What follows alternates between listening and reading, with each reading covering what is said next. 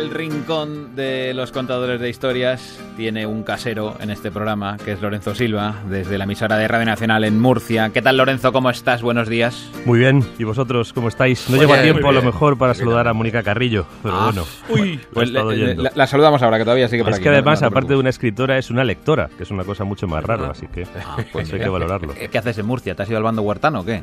Pues bueno, me he venido aquí a darme una vuelta por unos cuantos institutos y colegios para hablar con los chavales, Qué los bueno. chavales que leen, aunque mucha gente no, no lo imagina. Y hay, ¿verdad? Hay. Todavía hay esperanza entonces. Los hay, los hay. Todavía hay esperanza, Lorenzo.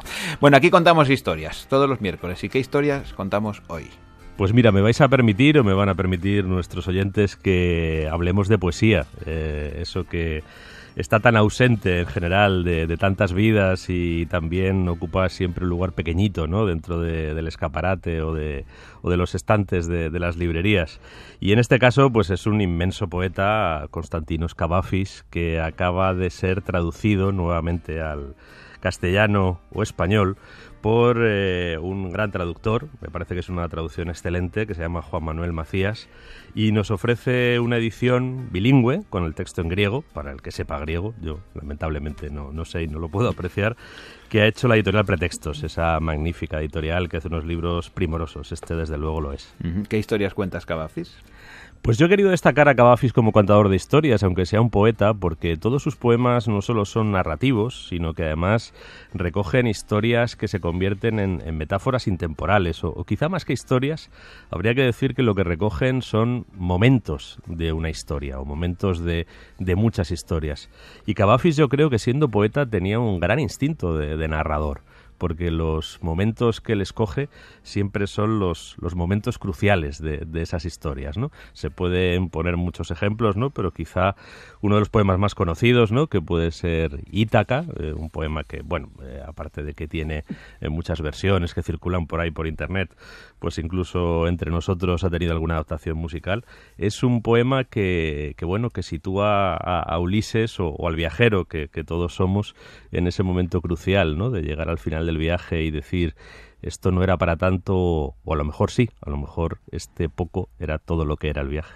Sí, hay que decir que Luis Jack fue un poco el que eh, dio a conocer a lo mejor a Cavafis por esta zona, digamos, ¿no? Sí, con, con una versión musical eh, de los de la Con un traducción. disco completo casi. Sí, realmente, y, ¿no? y una, y una traducción Sí. eh, catalana en este caso, de, Ujú. de un gran poeta catalán, eh, Carles Riba, que, bueno, que es la, banda sonora que estamos empezando a oír y que yo creo que, está bien escuchar, ¿no? Está bien escuchar y está bien que, para toda España recuperemos una traducción en catalán de, este poeta griego como patrimonio de todos los españoles y también esa, esa canción, ¿no? Llach ahora pues ha optado por una eh, opción política que a lo mejor a unos los representará más y a otros nos representa menos, pero como músico pues ahí está y es patrimonio de todos. Ple d'aventures, ple de coneixences. Has de pregar que el camí sigui llarg, que siguin moltes les matinades,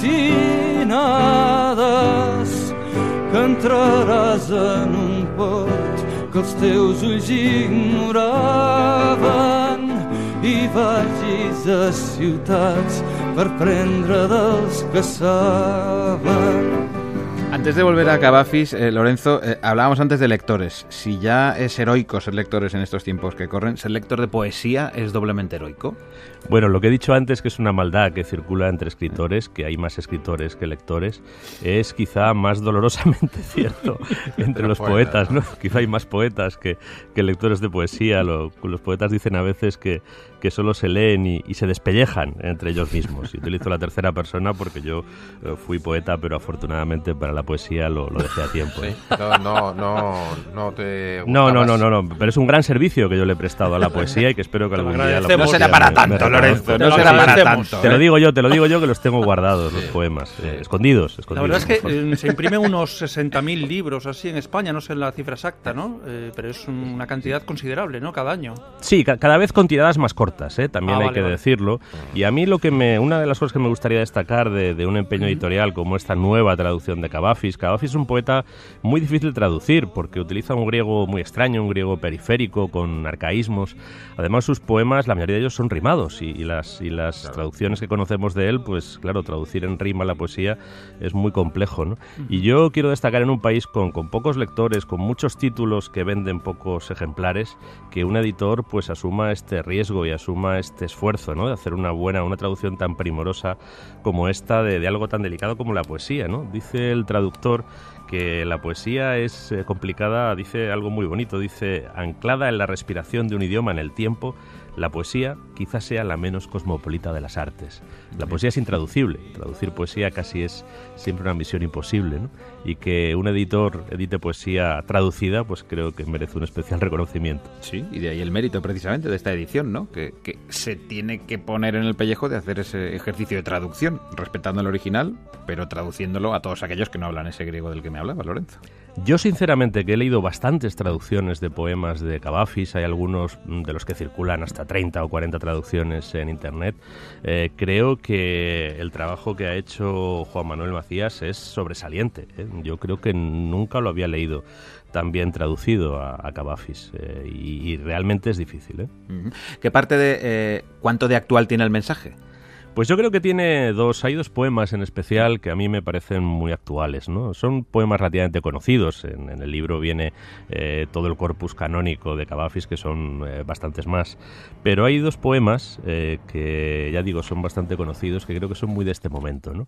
Uno es Esperando a los bárbaros, eh, toda la poesía de, de Cavafis está traspasada de, de, ese conflicto, de ese conflicto entre, lo griego, entre la civilización, digámoslo así, y como dice el traductor, a quien también voy a citar, y, y entre comillas, y el reconocimiento inquietante de esa otredad que representa la figura del bárbaro.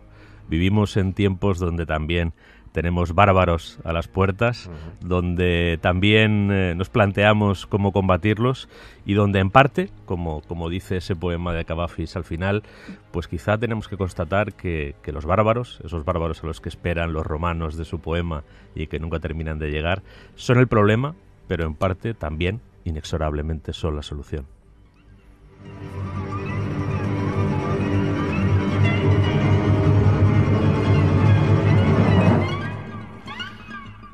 Lorenzo, ya ha creado escuela Cavafis en Grecia y, no sé, algún grupo de poemas, de, po de poetas importantes, eh, o bueno, pues desde que él escribió no se ha vuelto a escribir nada tan bueno.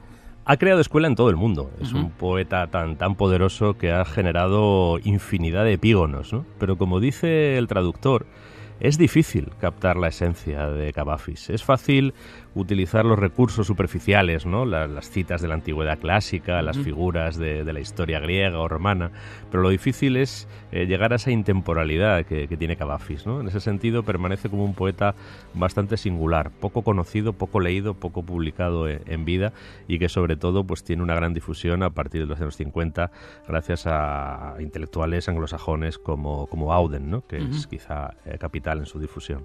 ¿Tú qué crees que diría ahora de la situación que vive su país? Pues mira, yo creo que diría... En todos los si sentidos, me, además, Y si me dejáis, sí. eh, dura un minuto y un poquito, sí. leo uno de esos dos poemas que mencionaba antes, que personalmente es el que a mí más me gusta, Perfecto. o por lo menos una parte. Se llama Termópilas. Y dice así. Honor a aquellos que en sus vidas marcaron las Termópilas y las defienden, sin apartarse nunca del deber, justos y rectos en todo lo que hacen, pero capaces también de lástima y clemencia generosos tanto en la opulencia como en la pobreza, generosos incluso en las pequeñas cosas, para prestar su ayuda hasta donde alcanzan, diciendo siempre la verdad, pero sin odio hacia los mentirosos. Y es mucho más honor el que merecen cuando prevén, y muchos lo prevén, que Fialtes ha de aparecer al cabo, y que finalmente los medos pasarán.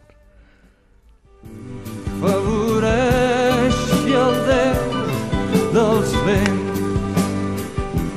i malgrat llur vent combat la mar